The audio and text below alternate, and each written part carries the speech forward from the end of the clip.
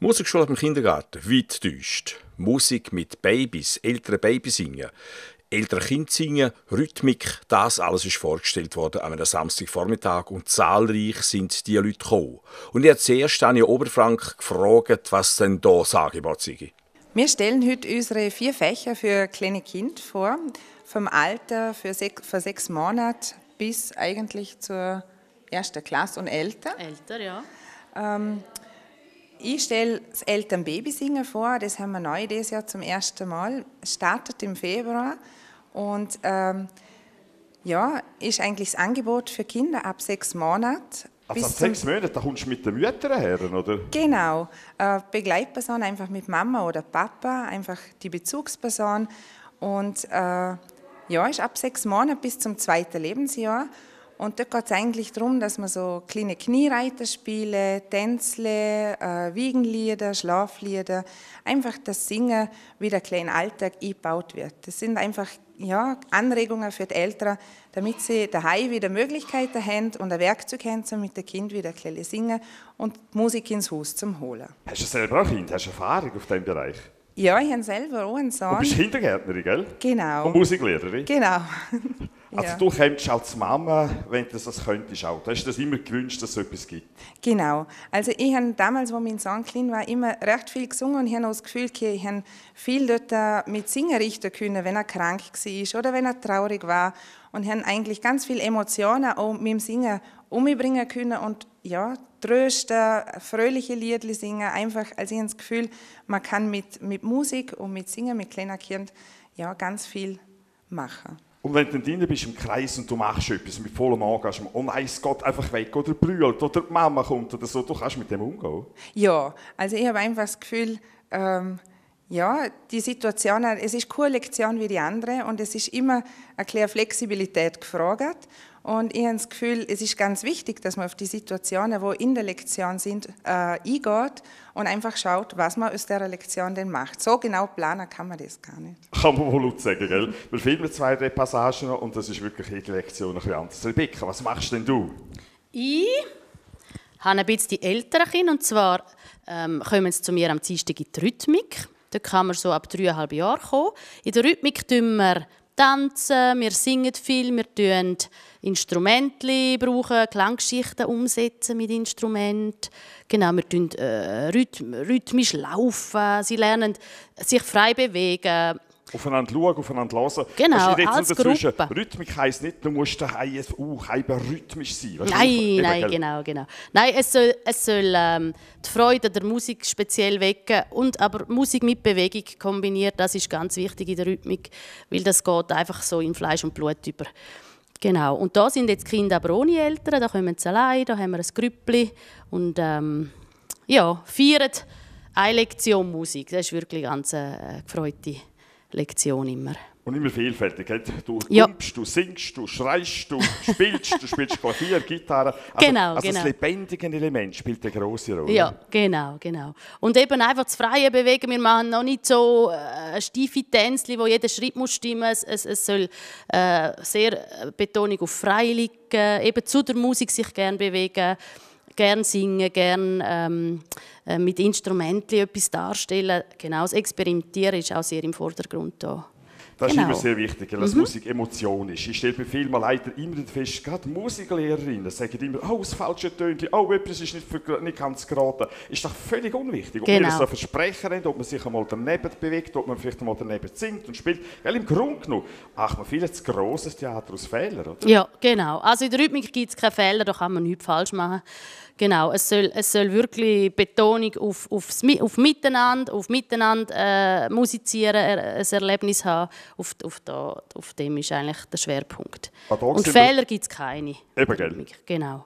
Genau, im Kinderchor dort geht es dann schon so ein bisschen mehr, dass es, das Töne halt ein bisschen stimmen Das gebe ich auch am, am, äh, am Dienstag. Da habe ich zwei Gruppen. Wir sind Zugus. Das Zugus heisst singen und geniessen und Spass haben übersetzt. genau. Und da haben wir zwei Gruppen. Insgesamt sind es jetzt etwa 25 Kinder. Und da schauen wir dann natürlich schon, schauen, dass es ein bisschen gut tönt. Wir haben Auftritt, jetzt gerade im Weihnachtskonzert äh, im Dezember. bei Firmenanlässen sind wir jetzt auch schon angefragt worden. Und da geht es dann schon so ein bisschen mehr. Da tun wir einsingen und Lieder möglichst schön präsentieren. Aber auch da darf es Fehler geben, natürlich. Und gibt es noch irgendetwas, gell? ist das das Büchlein beim Babysingen? Ist das, mhm. äh, äh, Anja, kannst du das mal vorstellen? Der Burkhardt gell, ist ein, ein Feigling. Also er ist vorher da gewesen, er ist gegangen, oder? hat uns das Büchlein überlassen und du musst jetzt ein bisschen erzählen, was er da kreiert hat. Genau, der Burkhardt Steger hat... Kannst du äh, das Büchlein noch zeigen? Ja, ja den holen wir jetzt noch. Wir sind ja da spontan unterwegs. Genau. Genau. genau. Der Burkhard Steger hat sich Gedanken gemacht, weil einfach, ja, wir haben festgestellt, dass immer weniger Musik daheim gemacht wird.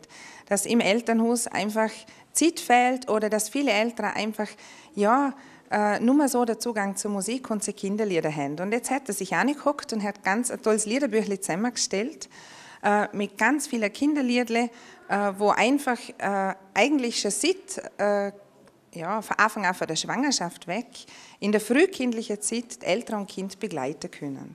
Das heisst, wenn du singst in der Schwangerschaft, hast du ein musikalisches Kind. Oder die Chance ist größer, oder ist das? Nein, nicht wirklich. Also da gibt es eigentlich keine wissenschaftliche These, dass das irgendwie bewiesen ist. Oder da gibt es nicht wirklich irgendetwas, dass man sagen kann, wenn man mehr singt in der Schwangerschaft, dass Kinder nachher musikalisch sind. Aber es geht um die Bindung. Und die frühkindliche Bindung kann man mit Musik extrem gut aufbauen. Also gerade Musik macht eine wunderschöne Bindung zwischen Eltern und Kind. Und ich habe das Gefühl, dass das heutzutage die Bindung zwischen Eltern und Kind ganz wichtig ist, später auch für Pubertät oder für schwierige Situationen im Alltag. Wenn die Bindung zwischen den Eltern und den Kindern stimmt, dann ist einfach vieles halb so schlimm. Ma, Anja, du könntest irgendwie Psychologin sein. und der Burkhardt kann froh sein. Wie kommt man denn das Büchlein vom Burkhardt her? Äh, es gibt einen Link. Äh, Bei der Musikschule? Nein, über den ja. Burkhardt, da müsste ah, man so, den Burkhardt ja, ja. noch fragen. Genau, den fragen wir und blendet sie, ja? Genau, und bei dem Link kann man draufklicken und man kann die, Mus äh, die Lieder auch anhören. Für alle, die keine Noten können, das ist überhaupt kein Problem. Und es müssen auch die Töne, wie Rebecca vorher schon gesagt hat, überhaupt nicht stimmen. Es geht darum, um Singen und eine Freude hier mit den Kindern und mit den Babys in der Schwangerschaft, mit kleinen Kindern und mit großen Kindern. Ja, dann schauen wir. Ja. Es hat nämlich auch sehr schöne Bilder drin. Hoppla. Ganz, ganz gefreute Sache da, würde ich sagen. Siehst Aha. du das? Da? Ja, sehe ich. Ja, ah, ja, ja, genau. Da hat, hat er das selber gezeichnet, Nein, das nicht, oder? Nein, das nicht. Aber er ja, ist echt ganz toll gestaltet. Ja, das ist wirklich sehr ansprechend und, und mhm. für Eltern und Kind wirklich empfehlenswert. Äh, ein weiteres Angebot ist nach dem Eltern-Babysingen das Eltern-Kind-Singen. Das ist für Kinder ab dem zweiten Lebensjahr bis zum vierten Lebensjahr auch jeweils mit einer Bezugsperson, mit Mama, Papa oder auch Großeltern oder Tante oder ein Onkel. Also da kann mitkommen, wer möchte, aber es ist einfach wichtig, dass eine Bezugsperson dabei ist. Beim Eltern-Kind-Singen geht es dann schon ein bisschen drum, dort lernen wir schon die ersten Instrumente kennen und Kinder kommen selber ins Tour. Das heißt, sie fangen selber an, sich bewegen, sie fangen selber an zum Liedle singen, zum Nachsingen und äh, ja, sie bringen dort schon sehr viel mit, wo sie sich einbringen können in die Lektion. Anders wie beim Babysingen, wo es eigentlich für die Babys ist, ist es beim Eltern-Kind-Singen schon ganz intensiv mit den Kindern. Ja, so viel zu dem. Ein reichhaltiges und interessantes Angebot. Ein Haufen Eltern sind Väter und Mütter, Kind, Babys bis hin zum Kindergarten, erste Klasse. Wir haben gefilmt, ein paar Eindrücke, allerdings ohne Kind zu filmen.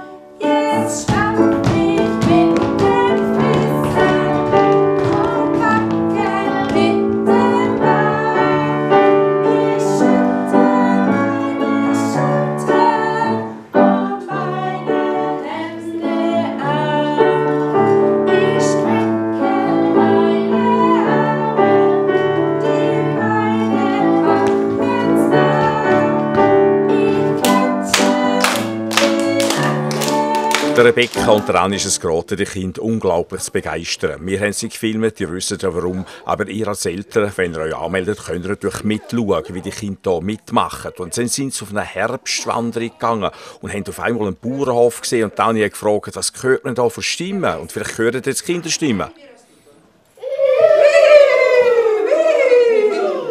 Genau, Röstli sind dort. Was sind denn noch? Cool. Kühe, genau. Wir machen den Tier. Genau. Ja, was sind Wie? Schweinle, wir machen den Tier. Boah, super. Gibt es noch mehr Tiere auf dem Bauernhof? Ja. Hühner. Hühner, wie du. Und die tun sagen. Und wenn sie was Ja, und dann ist es weitergegangen, die ganze Farm durch. Dann ist es zum Herbstwald gekommen. Wie fallen Blättchen, man kann mit dem Blättchen machen. Auf jeden Fall eine riesige Begeisterung von diesen Kindern. Ihr wisst ja, Singen ist wahrscheinlich die eigentliche Muttersprache, die erste Muttersprache von einem Kind. Stimme und Körper sind auch die ersten Instrumente. Und Singen, musizieren, bewegen, tanzen, das hilft eben, den Alltag zu bewältigen. Und das ist hier aufgefallen bei dem Engagement der Kind. Wer emotional eben so ist, wer emotional sich so erfreuen kann, der ist nachher auch beim Lernen viel, viel besser dran. Und das eben beherrschen, ein Blättchen zu heben, in der Hand, einmal auf dem Fuß, mal auf dem Kopf balancieren, ja, das ist eben auch Musik, das gehört eben auch dazu. Ja, schade natürlich, haben wir die Kinder nicht können filmen aber ihr könnt es selber erfahren, wenn ihr euch anmeldet. Schauen wir noch mal ein bisschen rein. Jetzt müsst ihr es aber heben. Jetzt kommt der Fisch.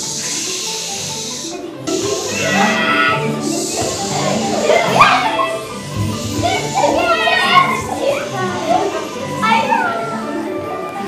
es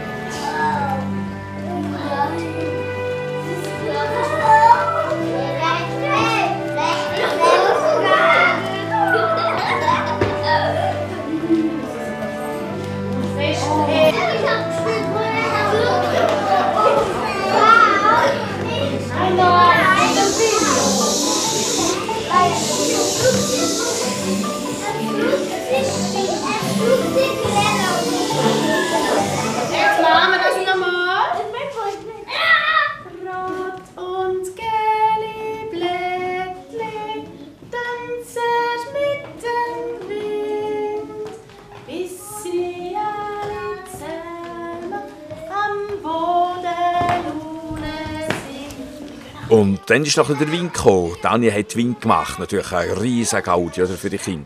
Nach dem Rascheln im Blätterwald, nach dem Sturm, dann eben eine ruhigere Phase. Die Blätter haben sich langsam beruhigt. Der Wind ist zurückgegangen. Dann hat es also still sein. Nach einer lauteren Phase, jetzt eben eine stillere Phase.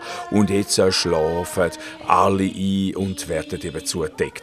Das ist eben Musik auf ganz verschiedenen Ebenen. Eben zu lernen, zuhören, auf andere einzugehen. Musik heisst aber natürlich auch ein musikalisches Spiel, nicht nur mit Bewegung und Sprache, sondern eben auch mit verschiedenen Materialien. Und jetzt haben sie verschiedene Instrumente können holen. Äh, Rasseln natürlich und ein Haufen anderes. Das ist natürlich ein riesen Gaudi gewesen, wie wir das haben können holen. Man war gespannt was jetzt da auf einem zukommt. Das ist überhaupt etwas, oder? Musik, so wie es Rebecca und Tanja machen, das bringt jedes Mal etwas Neues. Eine Erfahrung mit dem eigenen Körper, eine Erfahrung mit den Augen, mit den Ohren, zulassen, selber etwas machen, selber aktiv sein, aber auch passiv sich können zurückzunehmen. Das alles gehört eben zu der Musik. Das ist Rhythmik, das ist Singen, das ist eben Musik in der Urform, wie man sie in der Musikschule und vielleicht eben sonst nie anders wirklich so lernen.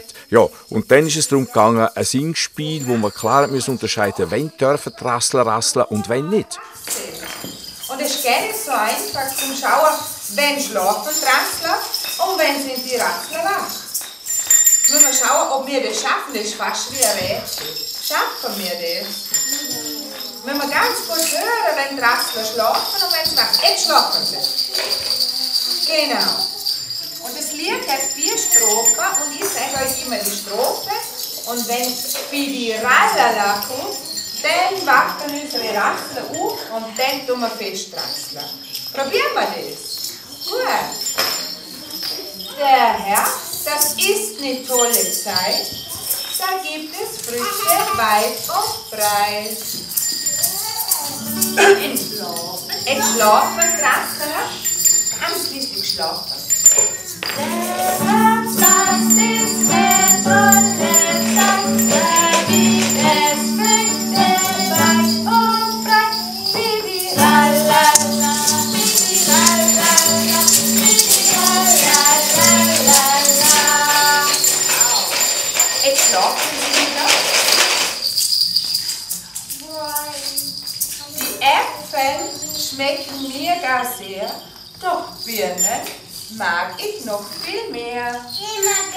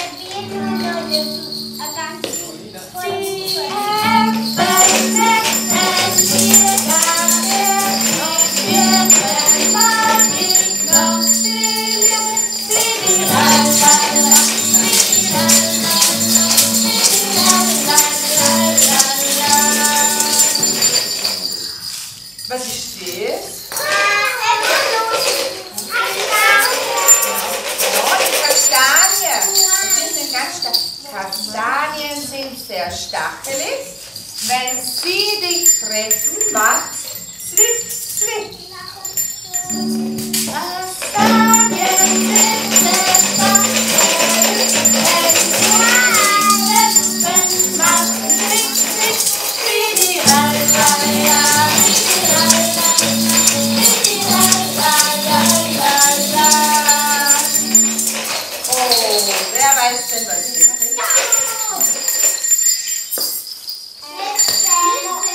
Eichel. Ja, genau. Die Eicheln haben einen Hut. So ein Hut. Den Mäuschen schmecken die sehr gut.